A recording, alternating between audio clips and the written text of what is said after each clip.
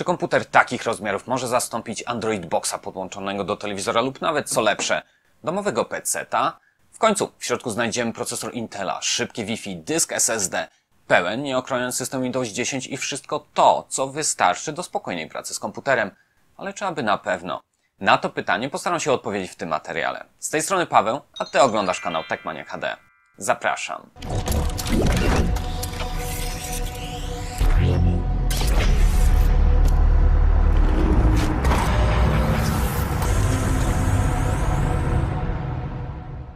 Technologia rozwija się w zawrotnym tempie, a moc obliczeniowa wzrasta z każdą generacją sprzętu. Dlatego postanowiłem dać szansę i przyjrzeć się bliżej urządzeniu typu mini PC. Całość przychodzi w odpowiednio zabezpieczonym i zafoliowanym opakowaniu. Model PCG 35 APO jest dostępny na rynku od sierpnia 2017 roku. Na opakowaniu widzimy kilka zdjęć urządzenia z każdej strony, jak i skróconą specyfikację. System operacyjny to 64-bitowa wersja Windows 10 Home. Sercem komputera jest Intel Celeron J3455 należący do rodziny Apollo Lake i chociaż jest to jednostka niskoenergetyczna, to jej wydajność jest całkiem przyzwoita. Grafika to też układ Intela. Warto wspomnieć, że pamięć RAM nie może być rozszerzana i wiem, że 4 GB szału nie robią, ale dzięki wbudowanej dosyć szybkiej pamięci wewnętrznej Samsunga nie jest to tak mocno odczuwalne. Otwierając pudełko mamy podstawową instrukcję oraz sam komputer, który jeszcze raz jest zafoliowany. Na pewno ochroni to na wypadek wszelkiej wilgoci w czasie transportu. W pudełku znajdziemy również kilka elementów. Mamy tu 12V zasilacz o maksymalnej mocy 24 W wraz z czterema końcówkami, co akurat jest miłym zaskoczeniem. Jest tu także woreczek foliowy z taśmą termoprzewodzącą i śrubami do montażu dodatkowego dysku wewnątrz obudowy. Przejdźmy teraz do samego komputera. Wygląd jest raczej dosyć niecodzienny. Najbardziej przykuwająca wzrok jest góra, a to za sprawą oryginalnego systemu chłodzenia. Jest on pasywny, co znaczy, że pozbawiony wszelkich elementów ruchomych, a co za tym idzie, całkowicie bezdźwięczny. Mimo tego ma on zapewnić optymalną pracę urządzenia, nawet pod pełnym 24-godzinnym obciążeniem. Przód za to jest już bardziej stonowany i skromny. Mamy tutaj nazwę producenta, okienko, które wygląda na odbiornik podczerwieni oraz przycisk włącznika z diodą LED. Na spodzie znajdują się otwory montażowe dla standardu VESA 100 na 100 pozwalające na zamocowanie komputera np. za telewizorem. Tył, oprócz wielu otworów wentylacyjnych, bogaty jest we wszelkie złącza.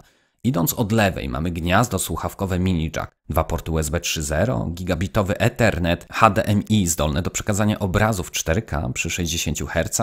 Dalej idąc mamy wyjście VGA, które może przydać się na wypadek podłączenia do starszego komputera. Kolejno gniazdo zasilania, a za nim USB typu C, które jest najnowszym standardem i bardzo dobrze, że znalazło one swoje miejsce także w tej konstrukcji. Dalej jest miejsce na zabezpieczenie Kensington i antena Wi-Fi. Na prawym boku znajduje się slot na pełnowymiarową kartę pamięci oraz dwa gniazda USB, jedno szybkie 3.0 i drugie 2.0. Całość waży około 1 kg, a wymiary można zakwalifikować jako kompaktowe. Po podłączeniu pytanie jesteśmy o język oraz hasło do Wi-Fi, po czym pobierane są najnowsze aktualizacje. Proces ten trwał kilka dobrych minut, ale Windows 10 zwykle jest bogaty w obszerne aktualizacje. Należy więc spokojnie poczekać do czasu ukazania się okna logowania konta Microsoft.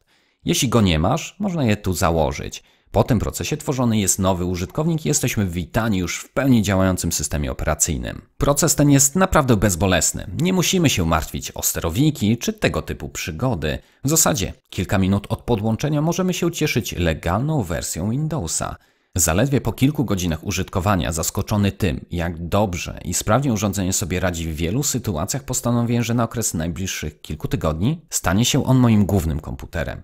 Zainstalowałem więc wszystkie aplikacje, z których korzystam na co dzień, aby jak najlepiej móc zweryfikować komfort użytkowania sprzętu. W przeciągu tych kilku tygodni korzystam z niego niemal każdego dnia. Służył mi dzielnie do typowej pracy, przeglądania internetu, ale też do rozrywki. Po tym czasie stwierdzam, że jak najbardziej można z niego korzystać jak z każdego innego normalnego komputera, o ile nie narzucimy mu zbyt ciężkich zadań. Dlatego też porozmawiajmy trochę na temat wydajności. Maksymalne TDP układu Intela to zaledwie 10 W. Czterordzeniowiec taktowany jest zegarem 1,5 GHz, gdzie w trybie turbo osiąga 2,3 GHz przy obciążeniu jednego rdzenia, a 2,2 przy większej ilości rdzeni. Tu muszę przyznać, że ta konkretna jednostka zrobiła na mnie pozytywne wrażenie. Po części dlatego, że wspomniane turbo utrzymuje się niemal permanentnie. W czasie moich testów podałem go kilkugodzinnemu, pełnemu obciążeniu, a taktowanie i tak nie spadało poniżej 2 GHz na żadnym z czterech rdzeni. Nie chcę też przesłodzić jego możliwości, bowiem nie jest to demon i mocnych procesorów zwyczajnie nie przegoni. Jego wydajność jest jednak wystarczająca, aby płynnie korzystać z systemu do zwykłej codziennej pracy, a całokształt i komfort korzystania jest wyższy niż niejednego starszego komputera wyposażonego w dysk mechaniczny. No właśnie, a co z wbudowaną pamięcią? Przecież 32 GB to nie za wiele, zważywszy, że sam Windows zabiera niemal połowę z tej przestrzeni. Może i tak, za to pozostała ilość spokojnie wystarcza do instalacji aplikacji takich jak pakiet Office'a, przeglądarki internetowe, odtwarzacze filmów, kod i niemal wszystko to, co używa się na co dzień. Nawet jeśli potrzebujesz znacznie więcej przestrzeni, to możesz odkręcić cztery śrubki i dodać tutaj dowolny, 2,5-calowy dysk twardy. Może to być szybki SSD, jeśli takiego potrzebujesz, ale i nic nie stoi na przeszkodzie, aby dodać tu nawet stary dysk, wygrzebany z rozbitego laptopa. Ja taki wsadziłem o pojemności 320 GB. Dysk taki widziany jest przez system tak samo jak dysk wewnętrzny w zwykłym komputerze. Możemy na niego wszystko instalować. Po umieszczeniu dysku w obudowie podłączyłem urządzenie do watomierza, aby sprawdzić ile tak realnie pobiera ono energii. Jak wiadomo, wiele zależy od obciążenia, ale podczas takiego zwykłego korzystania wartości wahają się między 5 a 12 W. Przy pełnym obciążeniu procesora i grafiki wartości te nie przeskakują już 14 W. W kwestii wyłączenia to opłaca się korzystać z Windowsowskiego uśpienia, jako że w tym trybie pobiera ono zaledwie pół wata, a wznowienie działania trwa zaledwie sekundę. Gdy system jest zamknięty i mini komputerek wyłączony, to pobiera on między 3 a 0,4 W, więc niewiele mniej, a czas potrzebny na uruchomienie systemu od zera to około 20 sekund. Ok, fajnie. Ale jak działa moduł sieci bezprzewodowej? Zadowalająco to mało powiedziane, jako że osiąga naprawdę wysokie transfery. Byłem w stanie uzyskać wartości na poziomie 250 megabitów na sekundę pobierania i 150 wysyłania, a w połączeniu z jeszcze lepszym dostawcą internetu te wartości najprawdopodobniej mogłyby być nawet wyższe. Na zasięg również nie będziemy narzekać, a to za sprawą anteny pokaźnych rozmiarów. Jednak jeśli tak wolisz korzystać z połączenia kablowego, to warto wiedzieć, że antena jest tutaj zamocowana na stałe. Wszystko to sprawia, że PCG35 może być świetną alternatywą dla urządzeń typu Android Box podłączanych do telewizora. Takich urządzeń zdążyliśmy już troszkę przetestować na kanale. Były tańsze, droższe, ale jeśli poruszanie się w systemie Android sprawia Ci pewne trudności, a system Windows znasz nie od dziś, to czy nie lepiej zastanowić się właśnie nad czymś takim? W końcu Netflix jest, Kodi jest, zdjęcia można oglądać, filmy w każdym formacie także, nawet sprzętowe dekodowanie H265 jest na pokładzie, no ale to Windows. Żaden format nie jest mu straszny. Macie ochotę przeglądać YouTube nawet w 4K? Da się zrobić. Jednym słowem, wszechstronność. Nawet jeśli takie urządzenie będziemy używać tylko i wyłącznie jako odtwarzacz filmów podłączonych do telewizora, to dobrze. Nie ma w tym nic złego i jak najbardziej się on do tego nadaje, ale jeśli kiedykolwiek główny komputer odmówi ci posłuszeństwa, to masz coś w zapasie. Wychodzi na to, że mimo swoich skromnych rozmiarów jest to niemal normalny komputer i na pewno tani nie będzie. No i tutaj duża niespodzianka. Na ten moment kosztuje on 179 dolarów, czyli niespełna 650 zł, a dostawa jest darmowa.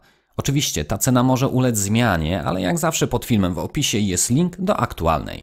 Może jest on troszkę droższy niż lepszej klasy Android Box, ale nie zapominajmy o tym, że oryginalny system Windows to koszt prawie 580 zł.